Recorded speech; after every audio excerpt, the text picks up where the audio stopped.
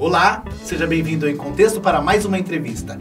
E já que você está aqui, já curta esse vídeo para torná-lo mais relevante dentro do YouTube e possa alcançar mais e mais pessoas. E não se esqueça de se inscrever no nosso canal e ativar o sininho de notificações para não perder nenhum vídeo. Agora vamos à entrevista.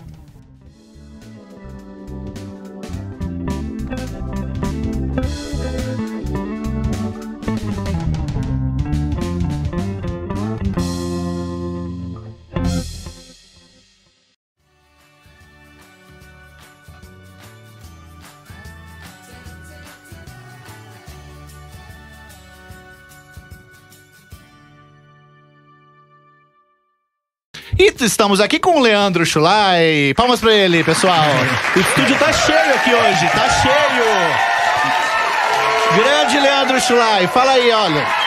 Boa tarde, boa tarde Edson, boa tarde a todos da Rádio Geek. Legal, cara. Tá meio tímido aqui, mas a gente um vai. Vamos soltando. Então tá bom, olha só. O playlist é uma série de contos baseados em letras de músicas. Ele, na verdade, são quatro volumes, dois já foram lançados e dois vão ser lançados nos próximos dois anos. Cada volume são músicas famosas daquela, daquela década e, e, a, e os contos têm a ver com a música, né? É, o playlist, a ideia dele é que sejam retratadas músicas que narram acontecimentos ou circunstâncias da sociedade em uma década. Então a gente começou com 2010 e aí criamos então contos inspirados em músicas que estão retratando situações da década. Por exemplo, o incêndio da Boate Kiss, como também o atentado do Bataclan, a questão do, da realidade virtual que veio agora nessa última década. Então são músicas cujas letras eu consegui usar para contar essas histórias desses acontecimentos. E agora, o último lançamento com os anos 80. Tá, o primeiro foi da década de 2010, o segundo da, da década de 1980. Isso. Tá, só pra gente ter uma ideia aqui. É, esse da Boate Kiss, você usou, utilizou que música? É, Last Kiss do Pearl Jam. E do, do Bataclan? Foi uma música chamada Nuclear que é do Mike Oddfield. Tá, eu sei, eu sei qual que é. Boa, boa também. Muito legal. Como é que, como é que você escolhe é, as músicas, as músicas para você se basear e escrever a história? Você vê assim, olha, isso aqui vai dar uma boa música porque tem, vai dar, vai dar um bom conto porque essa frase aqui é de efeito. Como que é que você, você escolhe? Olha, na maioria das vezes eu procuro acompanhar a letra e ver a mensagem que a letra passa, né? É, eu procuro não, não colocar músicas que já tem uma história pronta, por exemplo, Floresta Caboclo, não tenho o que inventar naquela música, já é uma história. Então eu busco músicas que tenham uma forma de eu interpretar. Então normalmente quando eu escuto uma música eu tento ver a letra e em cima da letra eu tento criar uma história. Às vezes acontece de eu já ter uma história sem música nenhuma e falar, poxa, será que eu consigo encontrar uma música que eu encaixe essa história que eu criei? E aí acaba sendo o contrário. Desse da década de 80, você escolheu que músicas poder ilustrar seus, suas histórias? É, eu procurei fazer uma mescla entre nacional e internacional. Coloquei, por exemplo, de nacional Exagerado do Cazuza, que é uma música que eu sempre gostei muito, tem um, um, uma boa mensagem. Eu coloquei uma música do Roupa Nova, que chama Dona, que também é uma música bem legal. Dos Paralamas do Sucesso, coloquei um Lanterna dos Afogados, que é um clássico, que inclusive é um dos meus contos favoritos também na coletânea. Meu também. É, você teve a oportunidade de entregar esse livro pro pessoal do Paralamas, não foi? Lá no. Tive. Eu fiz o cruzeiro do Energia, é, Energia na Veia e eu consegui conhecer os membros do Paralamas, do Roupa Nova e do Capital Inicial. Eu conheci o baixista, o André Lemos. Que são três, são três é, bandas cuja, cujas músicas são, é, inspiraram seus contos. Sim, exatamente. O Capital foi no de 2010, o Roupa Nova e o Paralamas nos anos 80. E para mim, uma satisfação pessoal indescritível você estar tá perto do, dos autores dessas canções e poder conversar com eles sobre esse trabalho foi realmente muito gratificante. E como é que foi? Como é que foi? Você chegou lá e falou: olha, eu escrevi uma, uma história baseada na, na música de vocês. E como é que foi o recebimento? Cara, foi um lance pouco de sorte também, porque primeiro, como que eu ia encontrá-los, né? Não podia invadir o show deles, né, subir no palco, ser expulso do navio, né? Eu procurei ver exatamente onde que eles iam ficar após o show, dentro do navio descobri e através do assessor deles, quando eu, eu apresentei meu trabalho pro assessor, e aí o assessor gostou bastante da, da proposta, falou, pô, legal a, a sua ideia. E aí ele, ele que me apresentou, ele levou até diretamente a banda. Assim, eu não tive tanto tempo com o Paralamas, por exemplo, foi um pouco rápido. Então foi mais assim, olha, Paralamas, tudo bom? Oi, Herbert. Oi, Bi, tudo bem? É, esse aqui é meu livro, retrata músicas dos anos 80. E uma das histórias que eu narrei falam de uma música de vocês. É uma honra poder estar aqui entregando esse livro. E aí eles agradeceram, deram uma olhada. Já com o Roupa Nova, por exemplo, eu fiquei um bom tempo conversando. Falei com, muito com o Nando, que é um dos integrantes da, do, do Roupa Nova. Ele ficou fascinado, falou ideias de escrita que ele tem também, pediu contato, disse que tinha interesse em criar algo parecido também foi bacana, assim, poder conversar e mostrar esse trabalho e, e, ver que também eles têm um desejo de consumir literatura também. Quem gosta de literatura gosta de música e vice-versa. É, eu acho que essa sua ideia foi muito boa de unir essas duas paixões das pessoas. Agora fala uma coisa: qual é a música que embalou sua vida que você ainda não fez nenhum conto? Olha, tem uma música que eu gosto muito que eu pretendo colocar no próximo, que são os anos 2000, né? Que é uma música do Black Eyed Peas que chama Don't Lie, que é uma música que eu sou fascinado por ela embalou uma fase da minha vida, assim, fiquei mais de um ano ouvindo, assim, e vivendo esse momento com essa música. Eu espero colocá-la nesse próximo playlist, mas foi uma música que foi um tremendo sucesso também. Eu acho que eu colocaria ela, é uma das músicas. É, Chulai, o que foi mais difícil? Conversar com adolescentes ou com público universitário? O público universitário eu achei um pouco mais difícil, porque justamente assim, eles têm uma expectativa diferente quando você vai conversar com eles, né? Quando eu converso com jovens, eu faço um programa de palestras para jovens e eu abordo muito questão de sonho. E é uma idade que eles estão muito na expectativa de crescimento de realizações. E já no núcleo universitário já é uma fase assim, começando a colher frutos. Então a abordagem tinha que ser um pouco diferente, a maneira como você se comunica é um pouco diferente. Eles já esperam um pouco mais de seriedade, então com o público adolescente consegue brincar um pouco mais.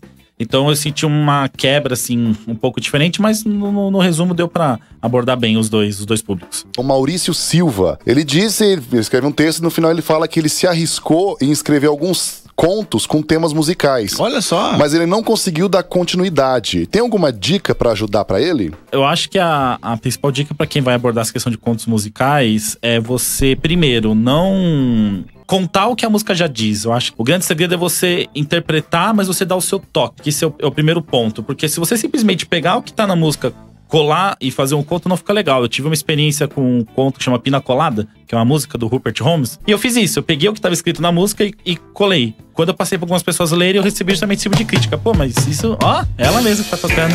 Falaram, poxa, isso que você tá colocando é o que a música diz, não tem nenhuma novidade aqui. Não, inclusive assim, eu tive a oportunidade de trabalhar, eu sou editor de livros, eu trabalhei esse livro com o Chulai, né, o playlist, e aí a gente discutindo sobre o Lanterna dos Afogados, o Chulai foi, foi pesquisar para saber do que, do que se tratava lá, e Isso. fala aí do, do, que se tratava Lanterna dos Afogados, originalmente. É, originalmente é uma música que o Herbert fez para retratar a questão da pessoa que, que tinha um, um alguém que estivesse esperando por ela, ela, a questão tivesse um porto seguro. É, era uma coisa assim da, das mulheres, de, de das pescadores, mulheres né? Pescadores, Ficavam isso. esperando. Ficavam, isso, ele, eles elas eram os portos seguros dele. Eles iam pra pesca e, ele, e elas ficavam ali na, no cais esperando eles voltarem o tempo todo. E o conto baseado nessa, nessa música é, conta a história do quê? Conta basicamente a história de uma mulher, ela tá na, no Olha spoiler, não dá spoiler não. De uma ponte, ela tá depressiva e ela tá buscando suicídio. Ela tá com um cigarro e aparentemente, assim, de forma sorrateira, uma outra mulher a aborda pedindo que ela passasse o isqueiro para que ela pudesse acender o cigarro dela, uma bituca de cigarro, na verdade. Uma senhora humilde, assim. E elas começam a interagir e você começa a entender um pouco a motivação das duas personagens, mais ou menos com o que diz a música, aquela questão questão da solidão, da depressão e da dor. É o melhor conto do livro, para mim, né? Me tocou muito. Inclusive, no lançamento do livro, né, eu, eu fui fazer a leitura dramática de, desse conto. Chegou um momento que eu não, não, não consegui, eu chorei. Você sempre chora, né? ah, mas quando a, quando a história é legal, né? Mas acho que só terminando pro Maurício, é, Maurício, então acho que essa questão tenta criar, colocar uma mensagem na sua história. Então, assim, que mensagem que você quer passar com esse conto? E uma coisa que o Edson me falou que é bem importante, né? O conto, por si só, ele tem que ser autossuficiente. A música é um complemento. A música é um plus. É o que faz a história se, se diferenciar de outras coletâneas, de outros livros que existem por aí. Mas se a música não existir, o conto por si só tem que, tem que dar conta do recado. Qual foi a sua emoção em entregar os exemplares aos artistas das músicas do seu livro? Com o Paralamas, que foi a primeira banda que eu encontrei, muito nervosismo, não sabia direito o que falar ensaiando o discurso. Tanto que foi bizarro, porque pro Paralamas eu entreguei um livro só. Aí os outros membros da banda ficaram olhando assim, tipo, pô, não tem pra mim aí. aí eu falei, caramba, que vacilo, né? Tipo, podia ter entregue um pra cada um. Aí no dia do Capital eu cheguei com cinco, seis livros, assim, só consegui falar com o baixista. Eu falei, pô, o que, que eu faço, né? Quando... vai lá, vai lá e pega esses, esses que sobraram e vai lá entregar pro Paralamas. É, mas e o. Não, o Paralamas depois eu entreguei pro, pros outros membros, eles estavam passeando pelo navio. E o Roupa Nova não, aí eu fiz o certo e assim, é emocionante, você não sabe o que falar. Depois, quando você sai, você vai repensar, fala, pô, podia ter feito alguma coisa diferente. São ídolos, né? De uma certa forma, né? São as pessoas que inspiram, então você acaba mesmo. Eu sou humano também, né? Então eu fico nervoso mesmo, eu sou ansioso como qualquer pessoa. Você chorou em algum momento? Não, Então você fez errado. Chorei Você no tinha- show, mas Ah, não tá. na Bom, entrega. beleza, em algum momento eu tinha que chorar. Está gostando da entrevista? Então já coloca aqui nos comentários qual foi a música que embalou os momentos mais importantes da sua vida. Aliás, o momento mais importante da sua vida. Isso dá uma história? Que história é essa? Deixa aqui nos comentários. Agora vamos voltar à entrevista. O que você acha que mudou no seu processo de escrita ao longo dos anos? E o que você diria a si mesmo se pudesse voltar aos seus primeiros escritos? Eu acho que eu falaria pra mim lá atrás, Chulai, não escreva uma série de livros de cara. É, eu, foi o que eu te falei né, lá no começo. É, realmente, assim. É muito difícil ser escritor no Brasil. O que eu recomendo é, se você for escrever um livro hoje, tem uma história que tem um início e fim no mesmo livro, que ela se seja suficiente naquela história que você escreveu. Não tem necessidade de você contar outros livros para que o leitor entenda a mensagem inteira. Porque o mercado muda muito, as pessoas mudam, editores mudam. Então, se você não, não- tiver um retorno realmente bem eh, satisfatório, você vai ter um pouco de dificuldade para concluir essa série. E o que muda no processo de escrita, o que mudou para mim, foi que pelo menos no começo eu escrevia simplesmente o que eu gostava e saía fazendo de forma né, conhecimento empírico. E hoje eu tento pelo menos assim casar um pouco do do que pode ser interessante com algum tema que seja relevante. O playlist nasceu justamente por uma, uma visão minha de que era interessante para o mercado literário a gente ter uma mistura de livro com música, uma coisa que não existia, podia atrair mais leitores. Então, hoje eu tento enxergar as coisas de um modo um pouco mais profissional. E quando eu não faço isso, o Edson já me dá um puxão de orelha e fala: pô, você não é tão profissional, por que, que você fez isso? E realmente aí eu volto atrás e, e- e retomo esse caminho. Isso que você falou, de, de não escrever logo uma série de livros, é, é muito importante. Eu pego como exemplo aqui, vou pegar o cinema. O, o George Lucas, quando lá, lá em 1975, mais ou menos, ele chegou com uma série de seis filmes. Dizem até que com nove filmes, sobre uma, uma batalha intergaláctica tal, que vocês conhecem hoje como Star Wars. Mas aí o, o estúdio falou o seguinte: olha, legal a sua história aí, mas a gente não tem, não, não pode investir e, e logo de cara em seis, sete. Olha, a gente dá dinheiro pra você fazer um filme. Ele, putz, que agora que eu faço? Só que porque a, a primeira história, que é o, o primeiro episódio, era um, é, tinha continuação. O segundo tinha continuação. O terceiro tinha continuação. O quarto filme era um que parecia assim. Se, se ele fizesse um prólogo, que é aquilo, aquelas famosas letras que vão anda, é, voando lá, né? sumindo lá, ele fazia isso rapidinho. E aí, aquele filme ali, ele teria um, um começo, um meio e um fim. E aí foi o que ele fez. Exatamente. Aí, Foi o que ele fez. E aí deu tão certo, deu tão certo, tão certo que o estúdio falou: não, a gente vai bancar assim e tal, vamos bancar mais filmes pra você e tal. Ele falou: ah, agora eu não posso começar do 1. Então aí ele foi, ele, ele continuou do, o episódio 5 e depois o episódio 6. E aí, só depois de muito tempo, que foi o 1, 2, o 3, depois o 7, o 8, o 9. Então o que eu quero dizer pra vocês é o seguinte: se vocês têm uma série de livros, alguma coisa assim que vocês queiram, queiram fazer, primeiro, faça um sem dizer que vai ser uma série, né? Você vai lá e coloca, faz um, um, um- um livro com começo, meio e fim, beleza. Se funcionar bem, se ele sair bem, aí sim você continua. Se não, eu- senão você para por ali. E é o que você fez, foi muito legal. É muito legal isso. O, playlist, ele era pra ser um livro só. Só que eh, com a minha experiência né, de editora, a gente conversou e tal, e aí transformamos numa série, mas muito bem controlado. Não, e o interessante do playlist é, você não precisa ler o primeiro pra ler o segundo. Você pode começar pelo segundo, pelo primeiro, pode começar na metade do livro, do fim. As histórias não são interligadas, então são histórias soltas. Não tem essa obrigação de você ter que ler um para ler o outro na sequência, né? Então acho que essa é uma Exatamente. vantagem dele. Se vocês perceberem, as capas elas se complementam. E depois, com, com, os próprios, com os próximos dois volumes, vai se formar uma imagem bem maior. É muito legal isso. Um projeto gráfico. É um mosaico, né? É, é bem legal esse conceito, né? É. Ó, chegaram três perguntas aqui que eu achei bem legais, ó. É. Ah. Todos os contos são pessoais? Teve inspiração baseada em vivências contadas por amigos, familiares e etc? No primeiro, quase inteiro. Foram realmente, quase todas foram situações vividas por mim ou inspiradas em coisas que eu vi. Tanto que eu falo que o primeiro playlist, que é o Vidas em Single, quem lê parece que vai me conhecer um pouco mais, né? É. O Vidas em Medley já. Como eu comecei a abordar mais os anos 80 e foi uma década que eu nasci em 86, então eu não vivi plenamente, foi muito em cima de estudos e relatos de amigos. Então foram contos em cima de histórias que me contaram, mas tem muita criação. Nos- Nos anos 80 tem muita realmente criação própria, assim. Coisas realmente que eu vi e achei interessante contar. Nos singles, quase, acho que são dois ou três contos só que estão nesse. Gostaria de saber do Leandro se as músicas que entraram nos dois playlists são músicas que ele gosta de ouvir ou são músicas escolhidas exclusivamente para a criação do conto. A maioria eu gosto, assim, eu tenho um go- um gosto musical bem eclético, né? É, dá até medo. Meu celular vai de funk a música clássica, assim. Eu falei que dava medo. É, mas o interessante, assim, algumas músicas, principalmente no Vidas em Medley, por exemplo, eu não conhecia algumas coisas dos anos 80, né? Conhecia umas, mas não outras.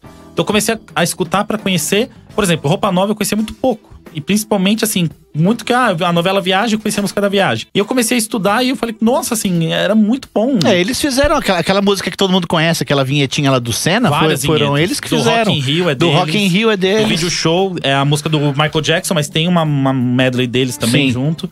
Então, assim, por exemplo, Roupa Nova eu comecei a conhecer de verdade por causa da escrita do playlist. Eu coloquei o Dona porque eu tava é, assistindo a novela Rock Santeiro pra me inspirar e coloquei esse conto, mas assim, falei, ah, eu gostei, mas mais ou menos. E basicamente, como o meu gosto musical é muito eclético, basicamente tudo eu gosto. É, no, no, no volume 1 tinha é, Deixei de ser cowboy por ela, né? Deixei de ser cowboy por ela, exatamente. Que virou-. Que virou Deixei de ser escritor por ela. Olha, Baseado em fatos reais. baseado numa, numa história real, hein? É. Pensou em fazer uma versão com filmes ao invés de músicas? Já, e assim, não sei, tem uma noção. Porque Black Mirror, com exceção, são episódios que, teoricamente, agora a gente já começa a ver que eles se conectam, mas a princípio eles não se conectavam, eram histórias avulsas. E você podia assistir o terceiro, depois o primeiro, depois a terceira temporada. E eu falei, poxa, isso podia funcionar também com playlist. Imagina que legal você ter uma série, né, de episódios, cada episódio narrando uma música. Seria uma, uma, uma boa, uma boa ideia. Teria uma vontade gigantesca. Inclusive, quando eu conheci as bandas, eu tinha até um devaneio de que ia chamar essa atenção também pra isso. De que a mídia deles pode ser usada de várias formas diferentes.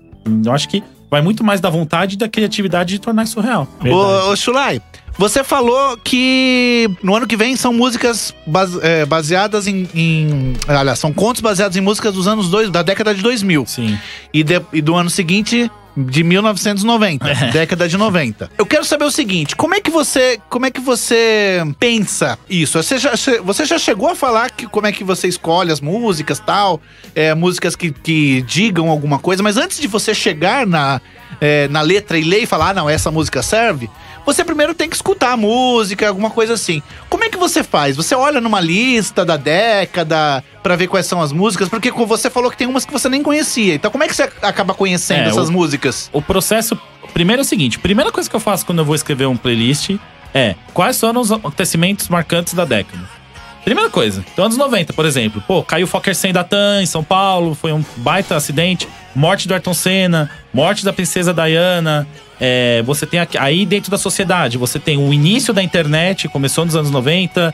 é, a cultura de os primeiros videogames da Nintendo, Mega Drive, Super Nintendo, a questão da, da, da adole- da adolescência com os programas de televisão, que era uma co- coisa muito cultural também na época, você, Domingo Legal, aquela disputa Faustão Gugu. Malhação e MTV. Malha, MTV, nossa, muito bem MTV, lembrado. é, MTV, realmente. com certeza. Tá até sendo retratada agora na novela Verão 90, essa questão dos VJs. E beleza, retratada, fiz esse, esse mapeamento. Eu vou pras músicas, né? Então o que, que eu procuro fazer? Eu costumo entrar primeiro no YouTube, colocar hits da década. Então eu vou ouvindo tudo que aparecer por lá: hits nacionais, hits internacionais. Depois eu procuro listas da Billboard, listas de, de locais que mostram as músicas mais relevantes. E aí eu procuro conhecer as que eu nunca tinha, nunca tinha ouvido. Então, as- e, e aí procurar a letra e ver se consigo casar algum desses acontecimentos ou características da sociedade da época dentro da música. É, e o pessoal acha que escrever livro é fácil. Olha só o tanto Não de é. pesquisa que o rapaz faz. É, não é não. Conta pra gente aqui alguma, alguma história em relação, de- eh, depois que você lançou os livros, que você viveu aí com as pessoas, as pessoas você foi, fez palestra, a pessoa leu, uma, leu o seu livro, falou alguma coisa diferente pra você. Eu fiz uma palestra ano passado em uma escola em Itaquera, foi para jovens de ensino médio, então assim, é, foi uma experiência bem legal que eu tive. E tinha um dos alunos ali que ele era usuário de drogas, né? E, poxa, uma situação difícil, vida familiar difícil, bastante complicada. E eu lembro que quando ele leu o livro, assim, passou um tempo, ele mandou uma mensagem agradecendo, porque eu fiz um sorteio na época na, na, na escola e ele ganhou o sorteio. Porque ele até falou pra mim, poxa, eu não ia conseguir comprar o livro se não tivesse ganho, porque eu não tinha dinheiro pra isso. E ele leu um dos contos que é o Heavy do Linkin Park, Pesado, hein? Literalmente Esse é pesado. que aborda muito a questão da depressão, a questão de as pessoas te veem você tá feliz, só que por dentro você não tá. E ele falou pra mim, cara, muito obrigado, porque minha vida é tão difícil aqui, eu tenho tantos problemas e você me trouxe, caramba, uma música de fundo que legal. Você me trouxe uma mensagem positiva no mundo negativo que eu vivo. Nossa, que pesado Foi bonito. Bem, bem bacana, assim, ter esse tipo de mensagem. Foi muito legal. Legal, cara. Tem um aqui que ele quer saber se o Leandro tem fã-clube, se ele tem uma ocupação além de escritor. Olha, nossa, ocupação eu tenho várias, assim. Eu pareço um, um polvo, né? mas Brincando, né? É, vamos lá, eu trabalho na Vivo, eu sou cientista de dados dentro do marketing, trabalho com uma equipe fantástica, um pessoal muito legal. Até mando um beijo, um abraço pra todo mundo. Tem uma galera que sei que tá me ouvindo. É, eu também sou organizador de coletâneas de contos, aqui pro Edson, então. Da Andros Editora, www.andros com dois s.com.br. O, o Chulai, ele organiza, olha só que interessante, uma coletânea de contos de amor e uma outra de contos baseados em músicas. Olha É. que interessante. Aí a, a diferença é, o meu são histórias que são inspiradas nas letras e essa coletânea que a gente tá organizando são histórias onde a música, Música. mudou a situação, foi a protagonista da história. Então, Foi, ah, é, um casal mesmo. que tava quieto, tocou uma música, eles se olharam e essa música fez eles se aproximarem. Ou então alguma música que, sei lá, O cara ouve fez a música e muda a personalidade dele. alguma coisa assim. A música tem que ser Protagonista. é, protagonista, tem que ser essencial ali. Então é só acessar www.andros do, com dois s.com.br e mandar o seu texto. E o que mais você faz? Você trabalha É, trabalho na Vivo, escritor, mexo com coletâneas, invisto no mercado financeiro e nas horas vagas ou não tão vagas eu jogo poker. e o nome dele é Betina, o segundo nome dele. É, perdi um milhão em três anos, Perdi né? um milhão. Betina é o inverso. É, olha só, queria, não, o pessoal que tá mandando muita coisa, queria agradecer aqui ao Maurício Silva, Joy Rubo, A Joy. é, Renato Dutra, Renato. Renato. Perla Polônio. A Perla. Perla, faz- faz- deixa eu ver a pergunta da Perla. Qual que é? Ela, ela perguntou em fazer a versão do- dos filmes. Do filme- ah. A gente já falou isso. É, É. sim, é. É, O Barrigol. Barrigol, que legal, Pediu, Samuel. ele, ele, ele falou que a que marca ele é Emerald Sword Rhapsody. Ah, que tá que- no playlist Vidas em Singles. A um. Trícia também mandou A Trícia do Knock recado. Door. A Ana Luísa também mandou recado aqui pra gente.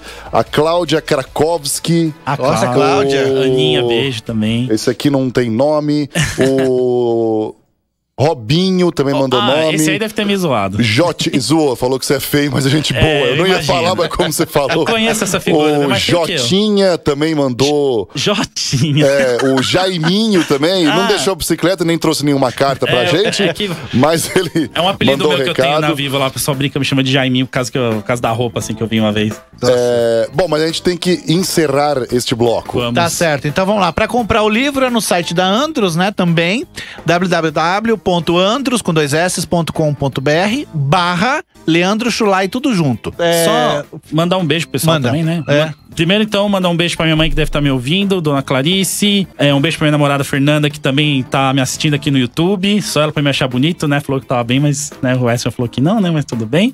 Pessoal da Você tá, Vivo. você tá bem melhor agora. Eu conheci, quando eu conheci esse cara, ele pareceu o, o feioso da família Adams. E ele usava a bendita da camiseta é, com as listras, gente. Pelo amor de Deus. pessoal da Vivo, toda a galera, pessoal do meu trabalho, Serrinha, que ano passado eu dei uma entrevista, não dei o nome dele, então esse ano vai em particular pra você. Pra toda a galera da Andros, os autores, a galera que tá me ouvindo também, pessoal, meus amigos, um beijo pra todos. E convidamos vocês pro ano que vem com playlist Vidas em Tracks, com músicas, é, com contos baseados em música dos anos 2000. E vamos que vamos. Obrigado, Rádio Geek. Obrigado, Rádio Geek. Obrigado, pessoal. Você está na Rádio Geek, apaixonados pelo que fazem.